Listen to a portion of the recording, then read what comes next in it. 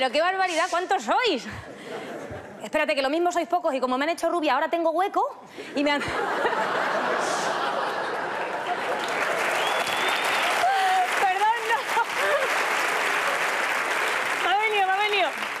A ver, que me da igual tener hueco, esto es un daño colateral. A mí no me importa tener, tener hueco en mi cabeza. Esto, pues me importa, mira, a mí me importa menos que a Rajoy no ir al logopeda, os lo digo, o sea, da igual. No tengo remordimientos. ¿Y sabéis por qué? Porque me he hecho friki. Pero friki, friki... Espérate, que estoy viendo que hay cabezas rubias, os lo explico. Friki... Friki viene del inglés extravagante o fanático. En el castellano tú abres un diccionario y te pone bicho. ¿Mm? Así, así, como raro pero me da igual. Amigos, ¿cómo no me va a gustar a mí ser friki si yo ahora con estos pelos que me han puesto hago así ¡ah! y soy super guerrero de bola de dragón? ¿Eh? ¡Que me marque un Son Goku! ¡Son Goku! ¿Va que no? Bueno, mira, espera. Mejor aún, yo ahora me pongo esta camiseta para ir por la calle y me miran el escote. A ver, que soy, soy sensata. Yo sé que no me miran ni por deleite, ni siquiera por buscarlo, no. Has pillado tarde, bueno. No pasa nada. Yo me lo pongo y la gente por la calle me mira esperando, esperando, esperando. Nos ha jodido, esperando a que diga, sí, soy Batman. ¡Ah! ¡Es que mola! ¡Me digan que no! O sea, en serio. Yo... Esto... ¿Cómo no lo voy a disfrutar, mi nueva etapa? Es maravilloso. ¿Sabes lo que gozo yo ahora yendo al chino? Yo voy al chino a comprar y ahora les devuelvo la mirada que nos dan ellos al entrar, ¿sabes? Que tú entras y te miran raro como diciendo, me va a robar, me va a robar. Seguro. Pues yo entro con mi camiseta y entro igual que ellos, en plan, teno, neno, neno, neno, neno, neno, neno, digo, ¡el pan! Y me lo da. Y no me mira mal. Es un gozo. Pero claro, es verdad. Yo no miento nunca, todas las reflexiones que hago aquí salen del corazón. Y esto también lo he pensado, ¿cómo no va a ser alegre y bonito ser friki? O sea, si nuestros ídolos visten con colorines, mallas de licra y botas. O sea, ríete tú de las chonis del estrafalario, principiantas. No saben lo que es eso y además suelen tener voz atractiva. No sé si veis Los Simpsons, pero hablan rollo Troy McClure, ¿sabes? Tú pones una peli nuestra y aparece en plan, hey, Indiana, Deja ya el látigo que estás dejando a la muchacha como un carabinero. ¡Ah!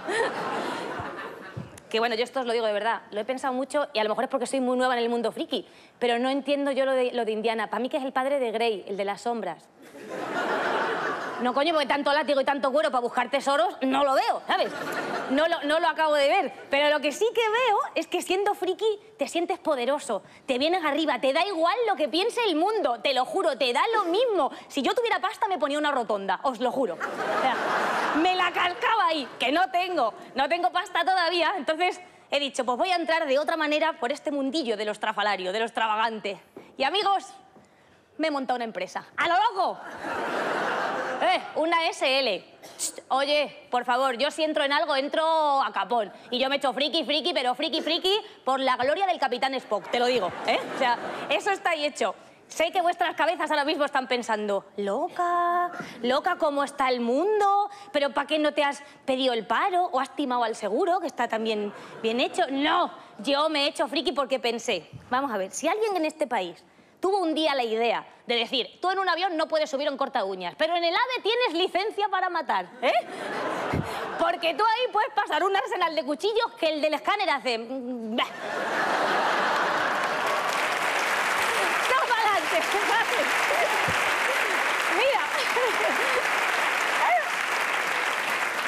Pues yo me dije lo mismo, me vine arriba y digo, aprovechando el de Colorado, digo, monta empresa, digo, ¿de qué la montas? Digo, ni puta idea, pero tira y ya irás viendo. Digo, venga, ahí. Y me presenté en Hacienda. Digo, eh, buenos días, haciendero.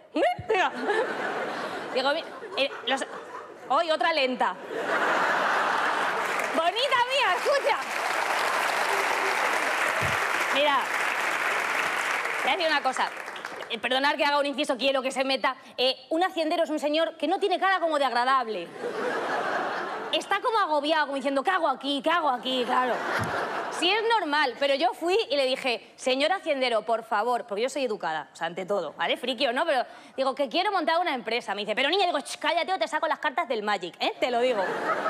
Yo sé que este chiste lo hemos pillado seis, pero sois mis seis, ¿eh? O sea, ahí está. Lo siento, tenía que decirlo. Bueno, ay. Ya, pero es que os prometo, esto es real. O sea, el señor me miraba mal. Parecía el chino de la tienda, me miraba muy mal. Como diciendo, ¿me estás haciendo trabajar? Claro. Y yo me acercaba como con cuidado y el otro mordía el boli. Y ya hubo un momento que dije, ostras, cómo he cambiado. Porque la antigua Sara, la escudero normal, se habría hecho más chiquitita todavía. Pero la escu friki se vino arriba. Digo, yo voy a amortizar todas las clases de Street Fighter que me he estado dando. Digo, le dejo cao. ¡Ayuken! Bueno, se quedó mortal. Me alegra ver... No, no, espera. A ver, un segundo. O sea, me alegra ver que hay mucho friki suelto, ¿vale? Esto es bonito. Pero quiero pensar que hay gente que no entiende lo que es el Street Fighter. Esto es una gilipollez lo que he contado porque en realidad le escupí y eché a correr, ¿sabes? Pero no, no es bonito contarlo.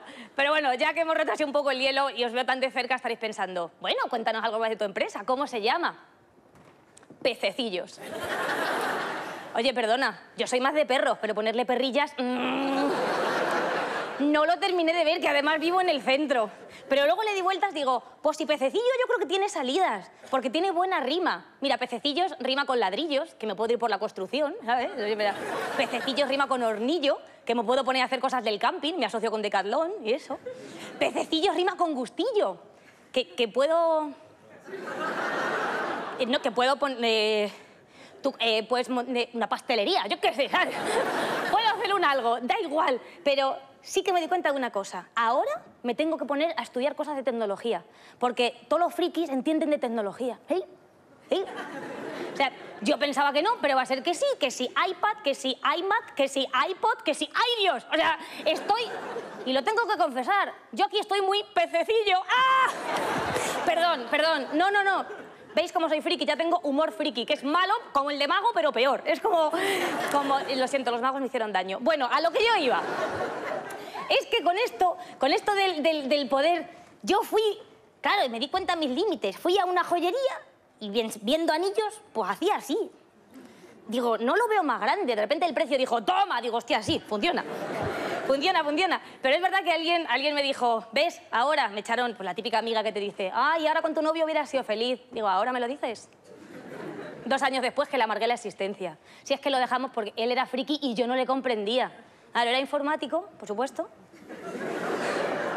Y no, a ver, yo le vacilaba un poco, pero ¿cómo no lo voy a hacer? Si se estropeaban todos los cacharros que tenía en casa, me dejaba a mí sola, le llamaba en plan, cariño, esto no va, eh, apágalo y lo vuelves a encender. Y digo, ole los cinco años de carrera. Con tanto Va. No, por favor. Era terrible. Esto, esto es una confesión, era terrible vivir en casa porque la casa era muy chica y lo tenía todo conectado. O sea, de repente la wifi se conectaba con la campana de la cocina, la campana de la cocina con la tele, la tele con la Thermomix. Te ponías a hacer una crema de calabaza y entonces todo el sistema Dolby Surround te daba un giro y te ponían las mejores escenas de Star Wars porque en mi casa no habría una puta forma cara, no había alfombra, no había muebles, pero teníamos un sistema de sonido que lo teníamos hasta en el baño, que digo, hostia, como me pilla gastroenteritis. O sea, qué miedito me daba, de verdad. Pero sí, ahora lo hubiera valorado más. Joder, es que somos, somos cabezotas en otra época de nuestra vida y yo ahora quiero eso. Y me preocupo, porque me preocupo por la imagen de mi empresa. Pececillos. Cuanto más lo diga, más os va a gustar, os lo digo, ¿eh? Al principio dices, qué ridículo, luego, luego dices, no, le veo futuro, le veo futuro. Pero no, es verdad. Mira, tuve otro amigo de estos, de estos bonitos que te quieren y te dicen la verdad, que te apetece siempre oírla. ¿Sabes? Sí, cuando empecé yo en esto de la tele me dijo, ¿qué dientes tienes, no? Me miraba así como de lado y dice, es que son como pequeños, solo se te ven los colmillos, Draculina. Digo...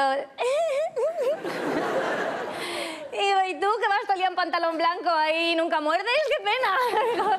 Pero me, me sentí rara y dije, tienes razón, lo dice por mi bien. Y me puse ortodoncia de la, de los bichitos estos. Tenía la cara, tenía la boca, perdón, o sea, todo esto lleno de, bichos. Me dabas un parmesano y te lo rayaba al momento. Era...